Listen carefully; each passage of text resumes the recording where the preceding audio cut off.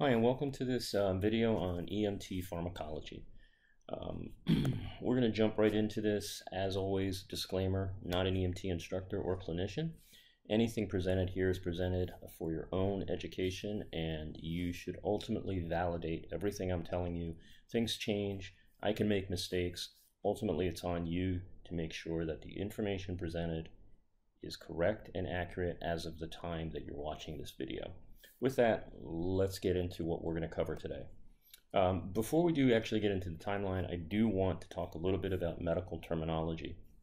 And this is something for those of you that are um, attempting to get your NREMT, uh, pass your exams, um, is one of the biggest things I see people um, kind of screw up, right?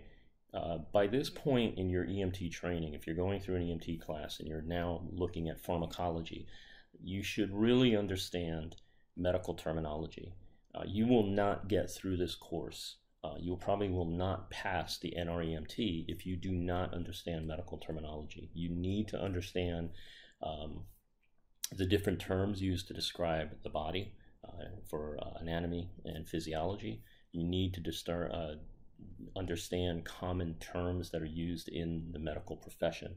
So if you don't have a good grasp, if you don't know what apneic means, ischemic, if you don't know uh, anterior from um, posterior, if you don't know ventral, dorsal, distal, proximal, if you don't know um, the four quadrants of the heart, you don't know the four quadrants of the uh, abdominal cavity, um, you need to really go back and study that you're going to get scenarios uh, that are going to use medical terminology. At this point in your training, it's expected that you understand this. You should, if you are asking an instructor, what does this mean? What does that mean? What's that word mean?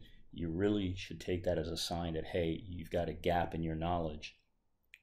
And it's important that you understand that you are you know, it, everybody believes you know this, right? They're going to talk to you in this language. It's kind of like going to another country. And after a period of time that you've been in that country, people are just going to assume you know the language. And if you don't, you're going to have a hard, hard time communicating and getting what you want and being successful. Same thing applies here. So, my tip to you is that if you don't understand medical terminology, go back and study it.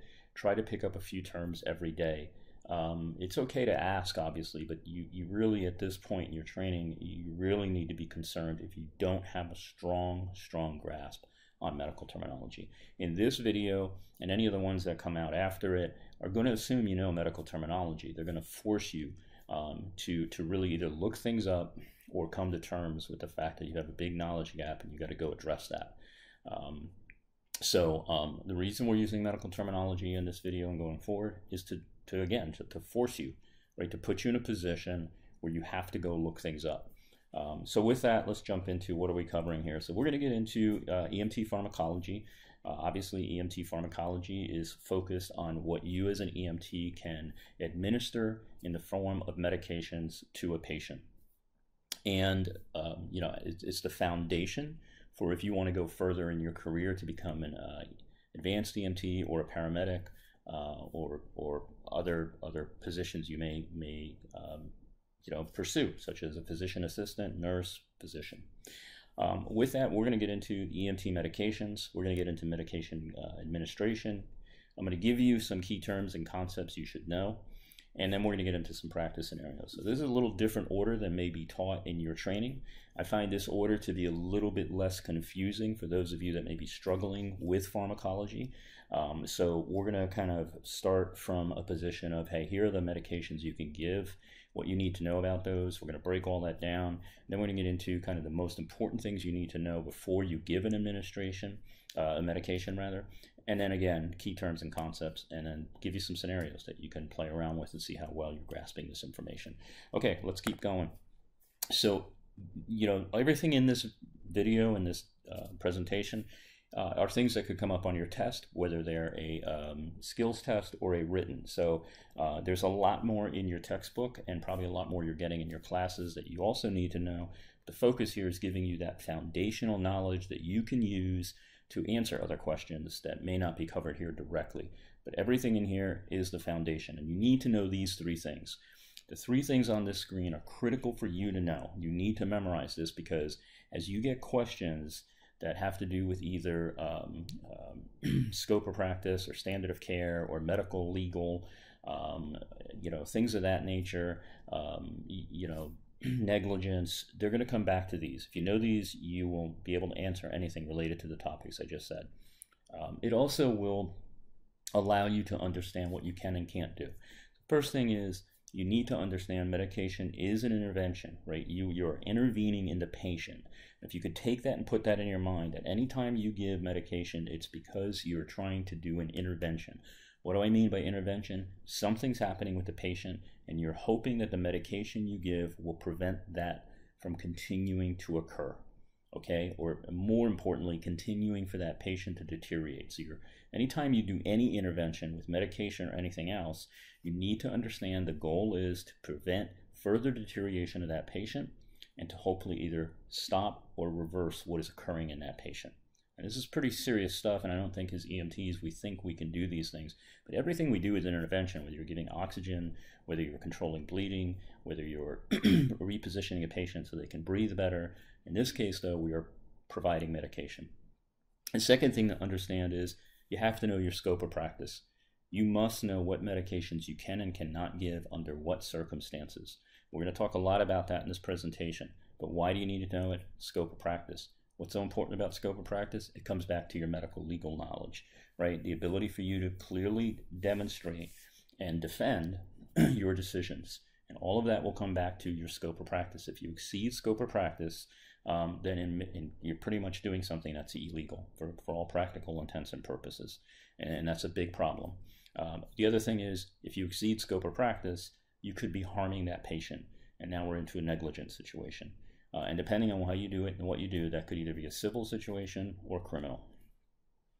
The last thing you have to do is understand um, the indications and contraindications. And I'm not going to go deep into any of the medical terminology. To give you a little bit of tips here and there. Indications are, you know, what are you observing or, or what signs are you seeing that point you in a direction that you need to intervene? Why would you use this as an intervention? Contraindications are things that tell you you shouldn't do this, right? But why do you need to know these? So you don't bring any harm to your patient, right? And so that you can intervene. Indi- in, uh, indications are those things that are going to help you do an intervention, which again means we're trying to stop deterioration of our patient and or reverse a situation in our patient. Um, and then contraindications are you know those things that obviously they're outside our scope of practice. We can't do those things uh, because we're seeing something that's telling us we should perform that action. Okay, so you need to know these. They form the foundation, again, for the knowledge that you can use to help answer questions as part of your NREMT, your skills test, and most importantly, when you actually are doing this to a patient. You know, if somebody's going to give your family member medication, you probably want them to at least know this and then build from here. Okay, let's actually get into the medications. so I'm going to break this down um, in a way that makes sense to me hey, if it doesn't make sense to you this way, find a way that makes sense. But I'm trying to take what for many is a really overwhelming topic for some reason uh, and make it as simple as possible, make it bite sized and kind of crawl, walk, run. Okay, so we're going to start with the medications. Again, this is maybe different than it's laid out in your book. Your book probably goes through routes and forms and uh, pharmacology and all of that. Um, we are really focusing on trying to get you through the exam uh, and then hopefully give you a set of skills that you can apply in real world situations when you actually get out and practice um, what we're learning here. Okay, first thing, these are the medications that you can administer as of the date of this video. This can change and it also could be impacted by your local protocol. But these are the ones that typically are going to be in the NREMT uh, testing. Whether you are going, uh, whether your local protocol allows you to do it or not, different question. These are the ones that you typically need to know to get through your EMT training classes uh, and eventually take your NREMT. Now, the third one down, this here, I'm going to try and highlight this. Um, this one here, you're, if you say, hey, that's not a medication, you're absolutely right. It's not a medication. so why did I include it in this list? Because you can use this to administer medications like albuterol but to list all of the different medications that you can do through an MDI or a SVN, um, would just make this list a lot larger. And for practical purposes of getting through your exam, you just need to know in your mind that there are things like albuterol or others that are administered through an MDI or SVN that are part of this list. Okay, so from a mental perspective, when you're trying to study and learn this stuff, um, these are basically the medications you can do. You just need to know that MDI SVN is not a medication, but it represents a class of medications that you give. Okay, hopefully that makes sense, but it's a way to get this into your head and bite sizes. All right, so I don't care about these medications right now. We're going to get into each one of them. What you need to also understand is these are the things that you need to know for each medication. Okay, you need to know each of these items. We're going to go into them in a moment. I just need you to kind of keep in mind that there are seven medications right? So if you can't memorize these seven medications, one of which is a class of medications administered by MDI SVN, right? So yeah, if you were to write down all the different medications, there'd be more than seven. But to get this in your mind, think about these are the seven, right? I need to know these things. I need to know aspirin, epinephrine. I need to know the class of MDI SVN medications, naloxone or Narcan, nitroglycerin, oral glucose, oxygen, right? And for each medication, there are 10 things you need to know about them. Okay.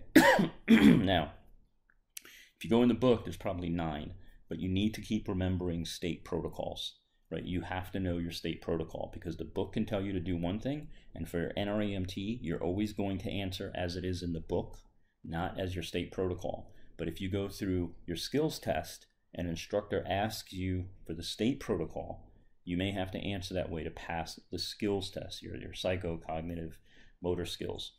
Okay, so hopefully that makes sense. Whenever you're taking a written, you answer as it is in the book. But when you're involved with someone, uh, you need to ask them, do you want me to answer this based on the state protocol that you're taking the class in or you're practicing? Or do you want me to answer this based on the National Registry exam? So that's why we add protocol to this list. Protocol is probably not distinctly called out in the book. It may be referenced or referred to, but we're going to call it out specifically. Okay, so what are these things that you need to know? What are the 10 things? All right. Uh, first of all, indication, why you're giving it. You know, why do you give this medication? That's it. That's all it is. Contraindication. Why don't you give it?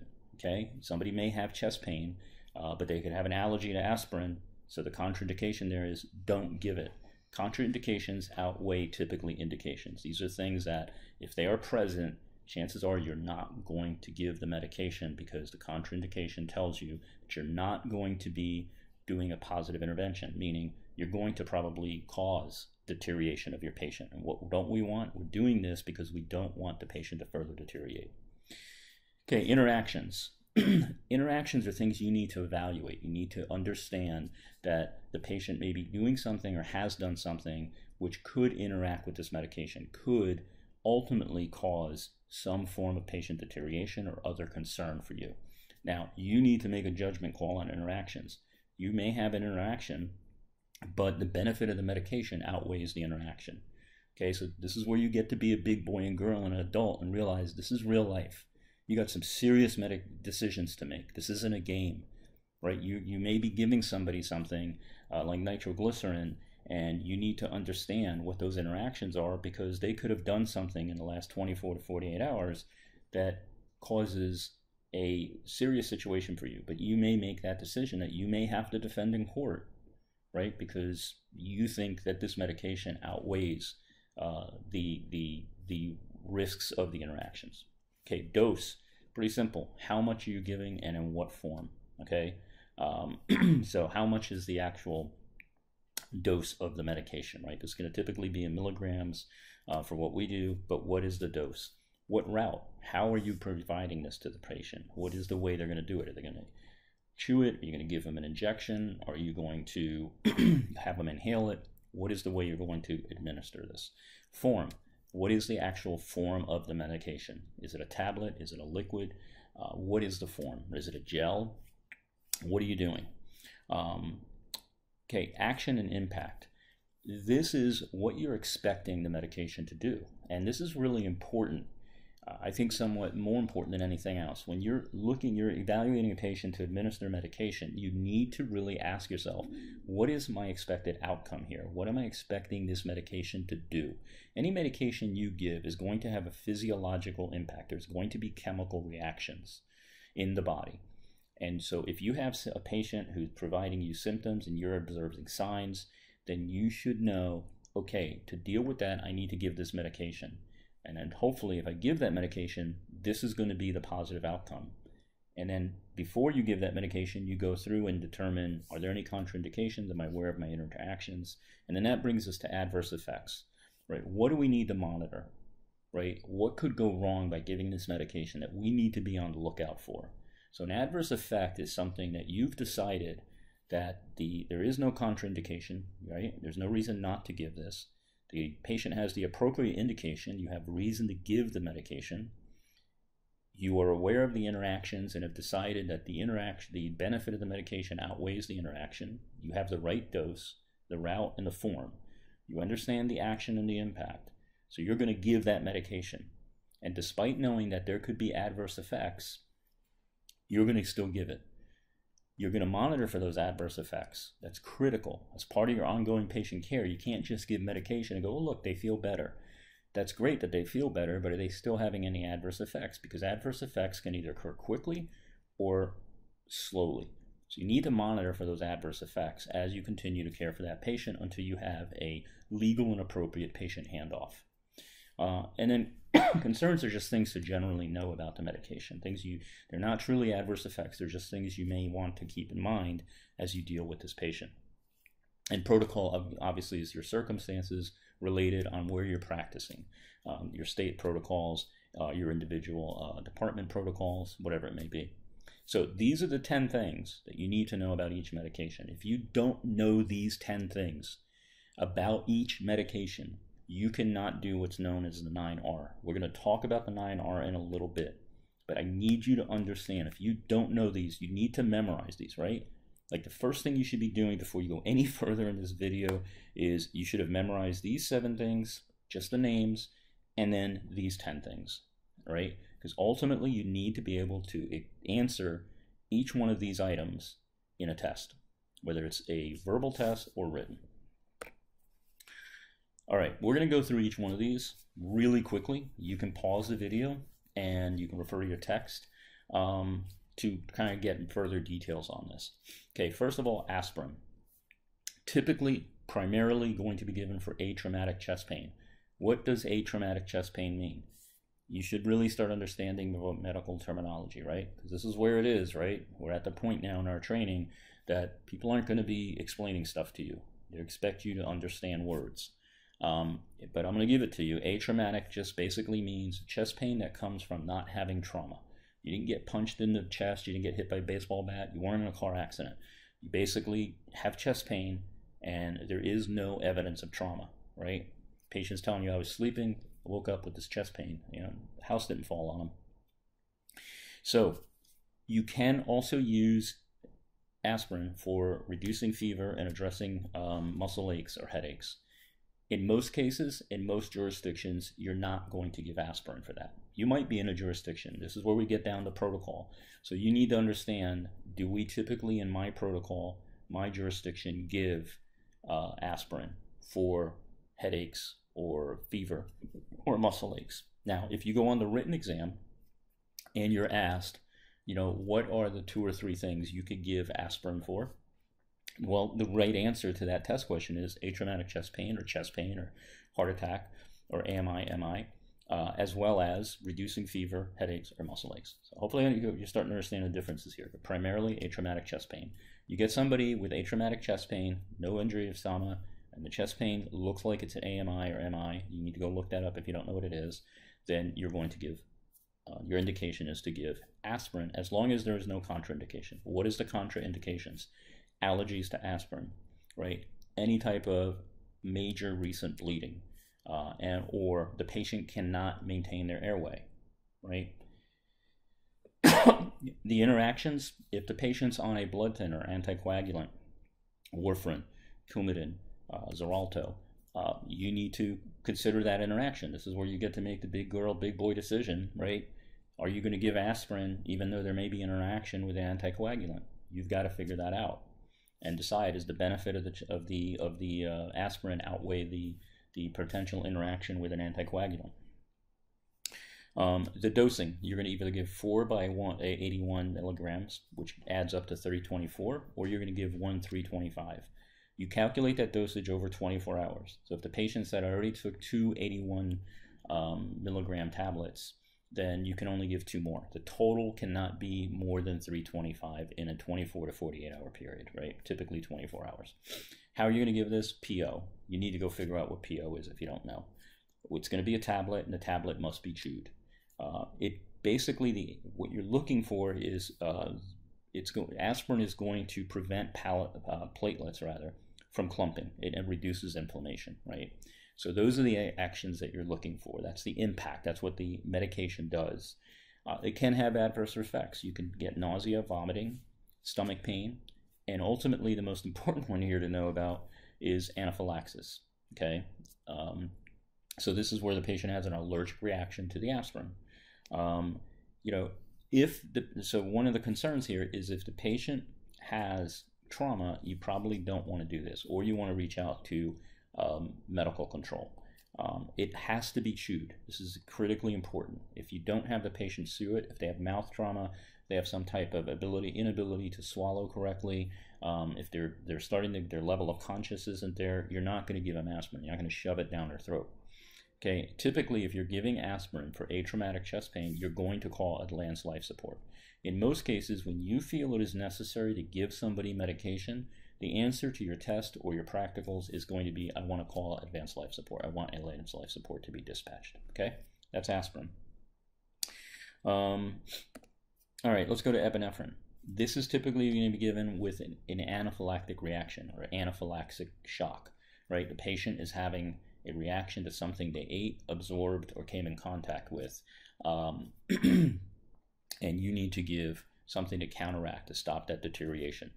I want you to be really clear that this typically involves multiple systems. So if somebody just has hives and they're breathing okay, you're not going to typically inject them with epinephrine. Now, if you see hives and they're starting to have uh, issues with breathing, they're starting to have respiratory distress, you probably will give epinephrine. You don't want the patient to further deteriorate. Obviously, if the person has hives and they're having advanced respiratory distress or possibly going into respiratory failure, you will give epinephrine. The point of this is, you know, you need to not be Rambo about this. Evaluate the patient. You're giving a medication. You know, if they're doing okay on their own, they got some hives, they're scratching, maybe their eyes are a little watery, but they have a patent, strong airway, they're communicating with you. There's no signs of respiratory distress. Keep the epinephrine handy and monitor your patient, but don't just go jabbing them, right? Think about what you're doing. And if you are going to jab them and throw on the uh, put epinephrine on board to their system, you better be able to explain why, all right? Um, so contraindications. Reason we don't give epinephrine.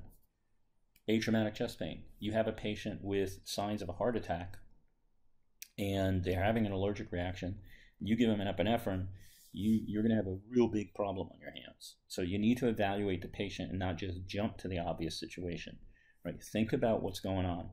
Hypothermia and hypotension, high blood pressure, right? Hypothermia, patients without obstruction and wheezing. Why? Because if they're not having any kind of chest uh, airway obstruction or any kind of wheezing in their lungs, right, then you're not going to give epinephrine. So think about it. If you're evaluating a patient, they have hives, what do you want to do? You want to observe their breathing pattern, their breathing and respiratory rate, and you want to do lung sound auscultation. Are they wheezing? If you got wheezing, then chances are they're going to be getting obstructed very shortly. So yeah, give them epinephrine. I'm hoping you're starting to see how this is some real serious decisions you're making. You're bringing all your skills together, and there's no shortcuts here, right? There is no like, oh, you you came in contact with peanuts and you got a peanut allergy, boom, I'm going to give you epinephrine. You got to stop and ask. Same thing with uh, you know aspirin, we just covered. Can't just say to somebody, "Oh, you're having chest pain. I'm going to throw an aspirin down their throat." No, you got to think about: Do they have allergies? Is the chest pain from from trauma? Is it just, hey, I was working out last night and now I'm really, you know, got some pain in my chest? Oh, is it sore? Is it radiating? What else are you seeing? Okay, interactions It acts as a basically it affects uh, the the parasymp- uh, the sympathetic nervous system and acts as a uh, stimulus. Three milligram dosage to 15 milligram, uh, 0.1 sorry, 0.3 milligrams for adult, 0.15 for child. It's given IM intramuscular, right? You need to know where to give the in, in, uh, the auto injection. Typically going to be in the thigh, and usually uh, given by a EpiPen. Typically, um, causes bronchodilation. It, we talked about it. It activates the sympathetic nervous system and constricts blood vessels. You need to know that for your test. What does epinephrine do physiologically? Um, you know, adverse effects, uh, nausea, vomiting. um, it doesn't cause anaphylaxis. That's a mistake here uh, in the slides. Uh, your body produces epinephrine, so you, if you're allergic to epinephrine, you've got a bigger problem than, than you giving epinephrine. So look that and confirm that, and it's not that's not one of the uh, um, the issues here. Uh, it lasts about five minutes. So epinephrine is going to go into the body, act very quickly, and then wear off very quickly. So if you have a patient, why do you need to know that? That 10 minutes, you're en route to the hospital, you reevaluate your patient, you're reevaluating every five minutes. Anytime you give medication, anytime you give medication, the patient is not stable.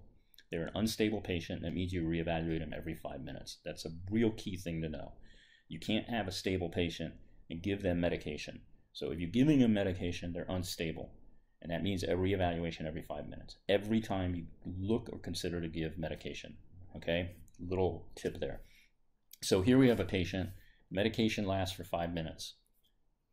You reevaluate them every five minutes. The second time you reevaluate them, which would be about 10 minutes after administration, patient still is having rapid heart rates, right? They're still wheezing. okay, you need to at that point try to start determining is is the medication causing this or do you have some other issue going on with that patient, all right, that you overlooked. So, understanding how long the medication is going to last is important because it'll give you clues to as to whether or not that patient is uh, experiencing something else or something else started in this patient or the medication is taking longer uh, to actually act. Uh, MDI SVN, right? Typically, we're going to use some type of MDI or SVN um, because of asthma or COPD. It's dependent on a specific medication. The contraindications here are dependent on the medication. To give albuterol, you need to know the uh, contraindications for that uh, interactions may impact blood pressure and their cardiac medications. It requires, typically, in most cases, you're going to need to look at the patient's prescription. They're going to have a prescription for what you're giving them, and your protocol is going to allow you to assist them with helping do that. It's given usually through inhalation. It dilates the bronchioles. One thing to know most of these MDI SVNs are actually epinephrine under the covers. So they're either some type of epinephrine or a synthetic form of epinephrine. So the reaction is going to be very similar to if you gave somebody epinephrine. Um, it dilates the bronchioles, right? Basically, it's going to open up their airways and help them breathe better. Again, this is basically some form of epinephrine or synthetic under the covers of the medication. So you're going to have tachycardia. There's going to be anxiety. There's going to be anxiety. You got to monitor for that and see what's happening. Um, review your local protocols, right? Typically here, uh, you're going to uh, be assisting the patient. Because you're assisting, they need to be able to follow commands. Can't give somebody who's unconscious an inhaler, right? Um, can't give an uh, well, you can't give an MDI, right? So they have to be their level of conscious has to be such that you can help them, uh, or they can help themselves, right? And you can assist in that. Typically, that's going to be giving them commands of what to do. Opioid overdose with naloxone or Narcan um, the big thing to know here is you're going to do this for opiate overdose. You need to know what some opiates are, so you can on your test explain. Patient presents with uh, obvious heroin overdose, uh, or his family member tells you they have heroin, or they've been using heroin. Uh, they have dilated pupils. what do you give? What do you administer? You should know that that's an opioid. On the other hand, somebody could give you an overdose of cocaine, and that's not an opioid. So you need to know the differences, or at least have some idea. Uh, typically, the contradictions, the contraindications are not very high. That's going to be hypersensitivity. In most cases, if you have an opiate overdose, you're going to give the medication. Uh, it's known as an opioid antagonist. What is an antagonist? An antagonist blocks something from happening in the body. You need to go look that up. It's a you need a better definition. I'm not giving you the better definition on purpose, so you go look it up. An antagonist blocks something in the body. So basically, it's preventing the opioid in the body from actually carrying out its job, is what naloxone and Narcan do. Single dose inhaler, 4 milligrams, auto injector, uh, 0.4 milligrams. Uh, keep that in mind. You also need to know what's in your book. The book is some in most cases is a little bit dated on the dosage. So if you're answering this for your written test, look at what the book tells you. Chances are you're going to get that as the right answer. But in the field, when you're actually using Narcan, you need to know that the dosage here on the screen as of this recording is the actual dosage. Hopefully you can do that in your head, keep both numbers. I didn't want to put the textbook numbers in here because I thought this the book may be updated at some point. So check your book so when you do your written, you have the right the right dosage. But know that as of right now, when this video is posted, that is the actual dosage that you would give a patient. route is going to be either uh, uh, inhaled uh, or through um, intramuscular, right? Uh, single dose, typically uh, inhaler or some type of auto injector. Uh, and basically, just reverses respiratory depression. That's important to know. Respiratory depression due to opioid overdose. You can't give this to somebody in respiratory distress um, just for the heck of it. It won't work. It, will basically pretty much do nothing. But you would be um, you would be in a little bit of trouble if you did that, right? So it's um, ultimately used to reverse respiratory depression due to opioid overdose. And again, for your test, you need to know some some opioid examples and uh, make sure that you use those um, to, to only give opioid uh, naloxone for. Person could uh, get nauseous, they could vomit, chances are they're going to vomit. Um, they have may go into immediate opioid withdrawal symptoms. They may be an addict, and this is blocking the opioids. So they're going to be really in a lot of pain very quickly, headaches, things like that. You may see them start to sweat, uh, get sh- uh, chills, shiver. Um, they also may get very violent and angry and combative. Those are the things you need to know. If you have a child less than five years old who comes into contact with opioids, they could live in a household where opioids are being used and they become uh, come in contact with it for some reason, shape, or form. They get into somebody's pain medication. Um, and they're less than five years old, contact medical control is probably the best course of action before you start giving it. Chances are you're going to be told to give it, um, but you may need to severely uh, adjust the dosage in some way, shape, or form. Nitroglycerin, um, again, this is going to be typically given as an assistant uh, case where you're going to assist the patient. Most uh, squads in the United States that are EMT level BLS don't carry nitro. Maybe you do based on your local protocol. Um, but chances are this is going to, not chances, this is always going to be given for atraumatic chest pain. We've covered that. You should know what atraumatic chest pain is at this point. Real important, big thing for you to know is you cannot do this without having a systolic blood pressure of above 100. It has to be above 100. Um, so you need to get a BP, right? So this is something that's going to come after your primary assessment. Um, if the patient has head trauma, you're not going to give this. Um, so keep this in mind. Right, you have a patient who's hit their head during a car accident. Now they're complaining of, of chest pain and uh, the pain's radiating. They're having signs of not just hitting their head, they have a lump, maybe they're bleeding in their head, uh, and suddenly, you know, they're telling you they're having a heart attack. It's pretty common. People get amped up after having a heart attack, they freak out. You're not going to use nitro.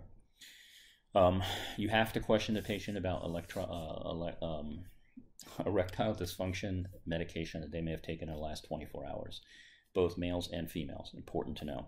Um, why? Because what happens with nitro is it increases the effect of other vessel, blood vessel dilators, which is what ED medication is. It dilates the, the vessels in your body. And in doing that, you're going to compound that effect with nitro. So, um, really important to understand that because you will cause some serious immediate problems for that patient if they've had ED medication in the last 24 hours. The dosage is going to be 0, uh, 0.3 or to 0.4 milligram tablet. The dosage will be on the prescription bottle or in the patient's prescription, or 0.4 milligrams if it's a spray. Uh, either way, you're going to administer what that patient has been prescribed because you're assisting them typically. it's going to always be subling, sublingual. So whether or not you're giving them a tablet or a spray, it's important for you to know you're going to ask them to lift their tongue, you're going to place the tablet under their tongue, or you're going to spray under their tongue. It goes under their tongue, uh, whether it's tablet or spray. Uh, we've already talked about what it does. It increases the dilation of the blood vessels. Um, they're going to probably get a headache, definitely going to get a burning sensation under their tongue. Um, you just got to, you know, if they, they probably already familiar with it, chances are you're not giving them their first dosage. But you know, it's something for you to know in case the person starts to complain they haven't seen this before, and you know, it's part of a, a potential adverse effect uh, that that's possible there. Their blood pressure could drop very, very quickly, so you need to monitor their blood pressure and signs of blood pressure hypotension. Uh, again, is this a stable patient? No. You're giving them medications. They're immediately unstable. You're going to assess them every five minutes you're going to call for ALS. Again, chances are, not chances, good practice, anytime you're administering medications, call for ALS. You're going to monitor their blood pressure, their heart rate, their level of consciousness, their respiratory rates, right? You're giving a pretty serious medication here. They could have lied to you. They could be embarrassed to tell you they've taken ED medication, male or female. Um, so you could give them the medication, and suddenly you um, you find that oh man, you know they're they're deteriorating. What's going on? and you need to be able to take action, right? You need to be able to support their their respirations. You need they're going to probably crash on you. Is what's important for you to understand. Um, all right, let's move on. Um, glucose typically to give this for hypoglycemia. Um, patient has to be able to maintain their own airway. If they cannot maintain an airway, you can't give them oral glucose. Now, here's where again you need to be thinking one or two steps ahead. Um, you could have a patient that is seeming okay, they're hypoglycemic. Remember, their level of consciousness is going to be a little bit off. They're going to have a little bit of a challenge uh, thinking clearly. They might look a little bit spaced out. Your decision to give or not give glucose is if I do this, is this patient going to suddenly just go unconscious on me? Um, you don't want something, especially a gel, caught in somebody's airway. Um, and, and go unconscious. So you need to, to figure out, you know, are they with it enough to do this? Can they handle this? Can they follow my commands? Um, you know, have you already got them on on some supportive oxygen possibly? You know, are they showing signs of severe respiratory distress? Are they about to go into respiratory failure? Can they maintain that airway?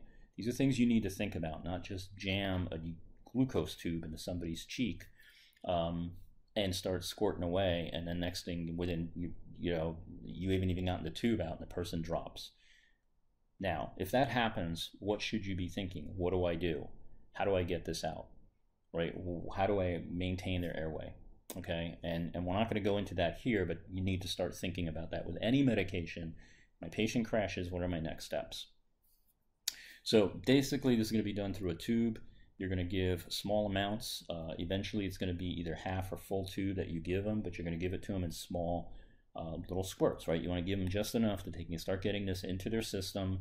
Um, and um, as they do that, um, you know, you're going to add to it. So you're not going to just jam an entire tube in there, which also, again, think about if the patient crashes, you don't want to give them so much that this is going to become a massive issue of how do you clear the gel out of their, their airway. Um, so could vomit, could have nausea from it.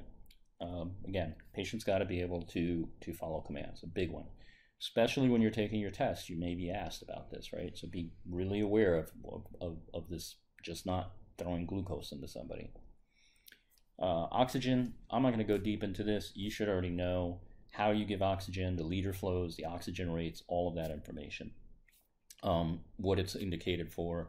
Typically, if you're giving one of the other medications we just talked about, you're going to give oxygen as well. Chances, even if it's a, just a, a, you know precautionary, giving them a nasal cannula and helping improve their oxygenation. There's very few times that improving oxygenation uh, is not a good thing to do, right? So just think about that as you're you're working through whether or not you give somebody medications. all right, let's talk about administration. these are the routes. I am not going to go into all these. You should already know these but you also need to know not just what the different routes are and their definition, but their rate of absorption. Why do you need to know rate of absorption? So that you can monitor the patient. If you're giving somebody nitro, you're probably going to have an immediate um, um, response, right? So if you're not seeing that, you should be asking yourself, why am I not? just gave this person nitro. It's not alleviating uh, the pain. Um, so what's going on, right? Uh, if you give somebody aspirin, um, right, so that's going to be oral. It's going to be a much slower response, um, but you need to understand that the patient's not going to see an immediate improvement. It's going to take a little bit of time. Um, you know, we don't do IV and IO, so you just need to know what they are. You don't need to worry about doing them, but you need to know that it's an immediate um, absorption rate. So you need to know these. You should also know what the difference is between enteral and parenteral. Um, again, just stuff you need to know. I, it, it, you just got to memorize it and, and know it, and then be able to apply it to each of your medications. okay, the rights of medication, or the nine rights, or 9R, is what you need to be thinking before you administer medication. Now, here's a little trick. If you know everything I just gave you in the last section for each medication the indications, contraindications, the interactions, adverse effects, the route, the dose you will know all of this. You cannot do 9R without knowing everything I gave you in the last section. If you don't know the 10 things of each medication that we covered in the last section, for each medication, you cannot do the 9R. Impossible. Okay? So you have to know those 10 things I gave you in the last section for each medication, then you can do the 9R. So what are the 9R? Simply stated, it's the right patient, right? Are you giving the medication to the right patient? You may go, well, of course I am. It's the patient. What happens if you have multiple patients? How are you confirming that this patient is the actual patient that should get this medication? Now, there's a few ways to do that, obviously. If it's the only patient, then yes, it's the only patient, but you should be able to state that. It's the only patient I'm interacting with. You possibly want to know their name, right? If you're going to compare them, their name to a medication uh, or a label, right? So you need to evaluate their what? Level of consciousness. They are they alert? Are they able to answer who they are, where they are, what's going on in the time? Um, is this the right medication? Have you really thought through the indication, uh, the indications and contraindications, the interactions? Right? Have you thought about the adverse effects and the impacts? What are you expecting to get? So, is this the right medication and the right indication? And there are no contraindications. Is this the right dose, right? Are you giving the right amount of medication for the indications you're observing? Is it the right route, right? Is this medication being given the right way? You know, are you are you are you you know giving somebody uh, aspirin and they're able to chew it, not swallow it? That's you know part of the route, right? Are they able to do that? the right time is the medication um, not expired, right? Uh, one thing I like to add to right time is is this the right time to give the medication? You know, a lot of times we're just trying to get through a test, but you need to understand in the real world, you know, if if you have to give a medication, um, uh, you know, let's say you have to give oxygen or aspirin because your patient's showing uh, respiratory distress. Do you give the aspirin first or the oxygen first? Well, this goes back to, to the routes, uh, to the absorption rates. What's going to do the fastest help for that patient? Uh, so you need to think about that. So right time, yes, it's always and typically going to be, um, you know, is the medication expired, right? Is the medication still valid? But you want to add to that is this the right time to give the medication? Is there some other intervention I should be carrying out that's going to support that patient um, faster or not? Epinephrine, you know, is probably one where it trumps oxygen. You can get epinephrine into because of an anaphylactic reaction. Um, you know, if somebody's having an anaphylactic reaction, a true ana- multi-system anaphylactic reaction, and you can give them epinephrine, you probably want to do epinephrine before oxygen. Why? Well, if you understand how epinephrine works and what it's used for, you're going to understand that they're probably going to end up with an airway obstruction. So you can give them all the oxygen you want, but it's not going to ventilate. It's not going to ventilate, oxygenate, and improve respirations or perfusion, right? So you want to make sure that you get them that epinephrine first. So is this the right time to give the medication, and is the education, um, you know, is it expired? Right education. Are you informing the patient of the adverse reactions? Uh, the contraindications? Are you giving them information on what the adverse effects could be?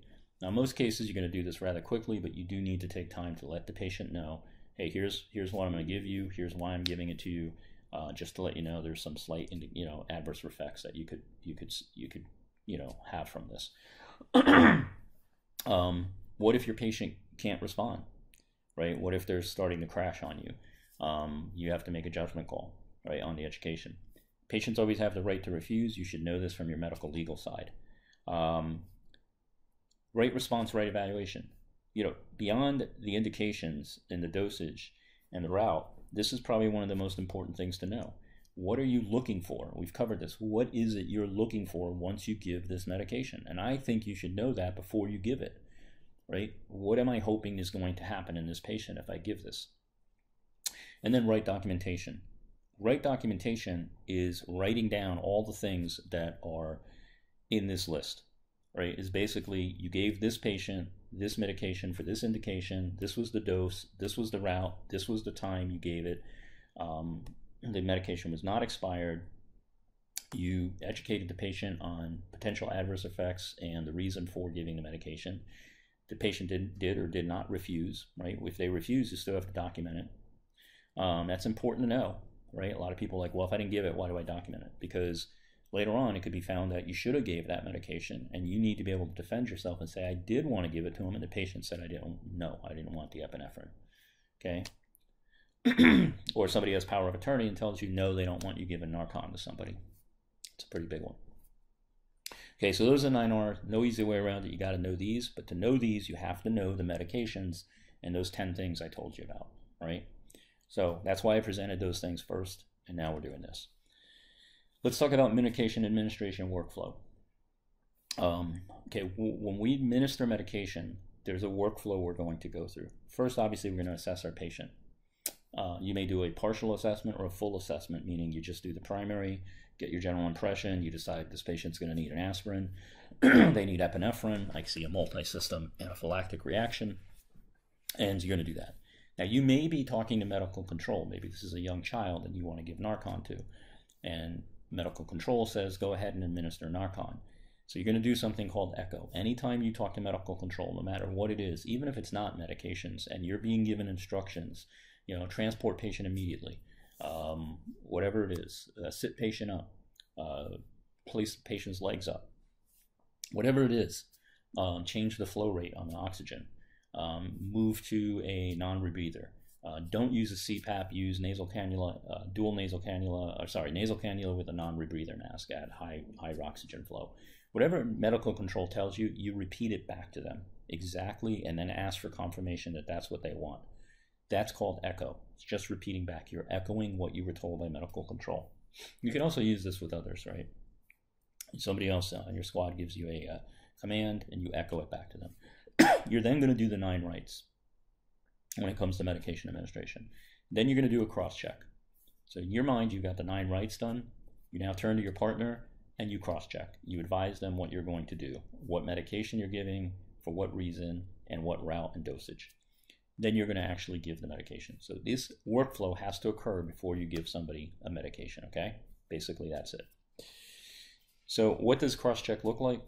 Basically, if it's you, you're going to say, I'm going to administer 180 milligram, 81 milligram aspirin to the patient due to their ongoing chest pain, which is radiating to their left arm. This would be a total of 324 milligrams over the past 24 hours. The patient denies allergies to aspirin and is not on anticoagulants. I have informed them of medication effects route and how they can help they have consented to the medication. Your partner is then going to say you are administering 81 milligrams aspirin for chest pain radiating to the left arm. Total dose over 24 hours is 3 to 24, and they have no known allergies to aspirin. You then administer the patient the aspirin. You then tell your partner you have administered aspirin at 1640. Patient seems to be tolerating it well. We should reevaluate in five minutes and also prepare to transport to meet ALS en route to the hospital. Your partner then responds, aspirin administered, 1640 tolerated, reevaluate in five, and prepare to transport and connect with ALS en route to hospital. The point of this dialogue is that you're checking each other, you're cross checking. I want you to also take notice here that the nine R's were respected in this communication. Now, you can make this a lot more optimal as you get better, but this is basically it. You want to communicate the nine R's to you, to yourself, and to your partner. They then confirm what you're doing. Now, as they're confirming it, one trick, make sure you're looking at whatever you're doing. If you're going to give somebody 81 milligrams, you are triple confirming that the medication you're giving to them is truly point uh, is, is 81 milligrams, and that it's not an adult version of aspirin that is 325, and now you give that patient four 325 um, uh, tablets, right? That could be a, a pretty serious situation at that point, especially if the patient's on anticoagulants and you've now overdosed them on aspirin.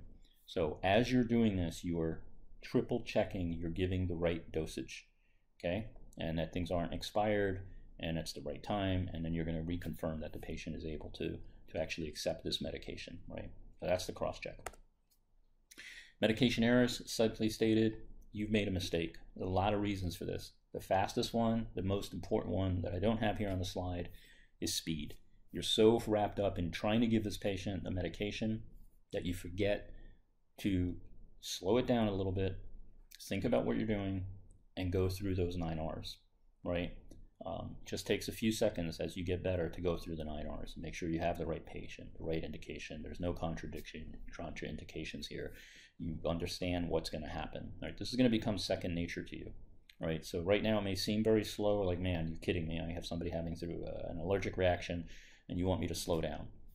Slow down is relative, right? But there's an old saying: uh, slow is smooth, smooth is fast. Right? The way you get fast at things is you start out slowly and get better and better with them over time.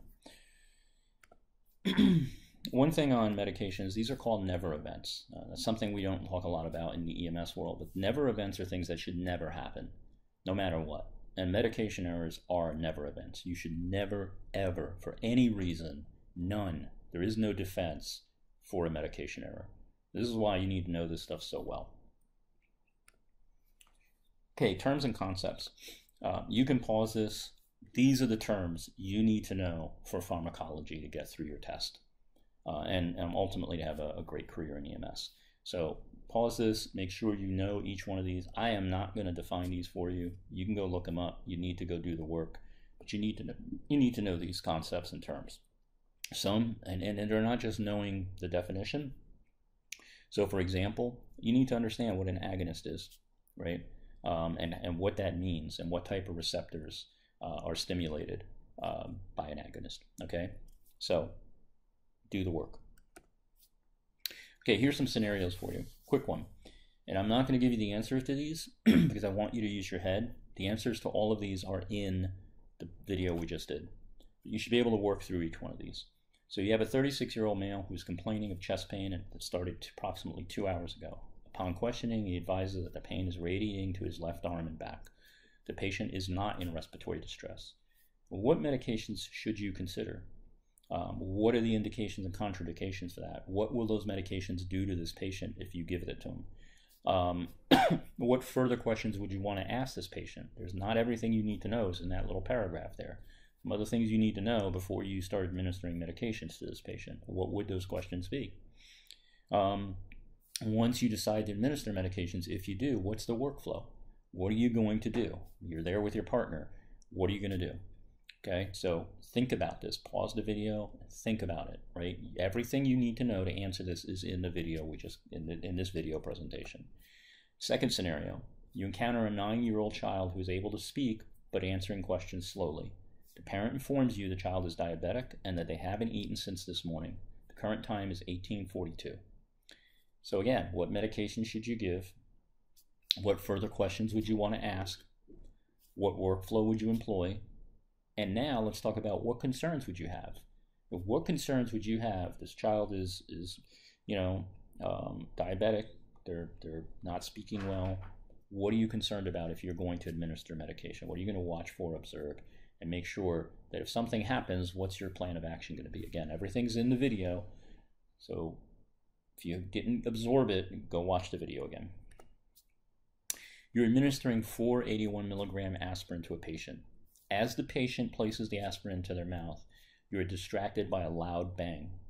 Okay, when you refocus on the patient, you can't remember did you give this patient four, three, or eight aspirins by accident? So, what would you do? Um, what would be your immediate next steps? What would you advise your partner and other caregivers? Right, so it's really important that you think about this. Right, when you transfer the patient, what are you going to say? So, Again, think about it. Everything's in the video. You've administered two doses of Narcan to a patient. suffering from an opiate overdose. The patient remains un- unresponsive. They're not reacting to the Narcan. What do you do? How many more dosages can you give? Um, and what's the interval between those doses? And what else should you be considering? Okay. okay, a patient who you've given four aspirin to for a total of 324 milligrams, so you should know what the individual aspirin dosage is at this point, uh, advises you that they also use nitroglycerin. They have a valid prescription and a bottle of nitroglycerin. What do you need to look for? What do you need to ask that patient? What are the potential contraindications? What are the adverse effects? What is the indication for giving this? Um, what other things do you need to know? Right? One of the things we didn't talk about is having a crash plan. One good thing that you could think about is always what is my crash plan? If this patient crashes after I give this medication or carry out any intervention, what am I going to do? If I'm giving a patient oxygen, forget all the other medications for a moment, just giving this patient oxygen, but they start to crash, what's my crash plan? Right? You should know in your head what is your crash plan for every patient. Okay, so you can write your answers down in the comments if you wish. The idea here is to get you to think and not for me to just walk you hand through and give you the answer. If you can think about these on your own, you're going to be much, much more powerful in, in, in not just being an EMT, but obviously getting through your exams, both the written and the practical. Um, so with that, I hope this was helpful to you. Actually, we got another one for you. Oh, here we go. Good bonus one. A patient who is allergic to peanuts is reporting hives along the arms, chest, and neck. The patient does not have respiratory or other distress at the moment. What do you need to do with this patient? What are you thinking? What would you want to observe for? What would you want to watch for? What would be the indications or contraindications on whatever action you take? How would you explain yourself in court if you took one action versus another? What's your crash plan? These are all things you need to start thinking about. And I'm hoping by now you're starting to get much easier and comfortable with this. If not, replay the video. Literally everything we covered in these scenarios is in the video. You can come up with other scenarios. In fact, in the comments, put down other scenarios so other people watching this video can play around with scenarios, right? And and start thinking. And so you you know help help each other out. We're one community, right? Nobody's here to kind of try to stump anybody. So go ahead, put some scenarios that you've either seen, heard about, or just made up uh, that would ultimately require someone that's uh, an EMT to determine whether or not they would give medication. Um, and then for those of you studying, you know, go read those uh, scenarios in the comments and start thinking about how you would deal with those. So hopefully this was helpful. Um, you know, covered a lot of material, but this is the core information you need for pharmacology. As you go forward in your training programs, this is going to be a core part of what you need to do for every scenario you're given, whether it's in the written uh, or in the uh, skills testing. So you need to know this. There's no way that you can get past this. To do this, you also need to know medical terminology and anatomy, right? You can't get you can't be really great at pharmacology without knowing those things, especially for the written exam. All right, with that, wish you the best of luck. Um, comment, please. Help each other out. Put scenarios in there. Put answers to the scenarios. Um, pose questions for each other. Work together. One tribe, one community. Talk to you soon.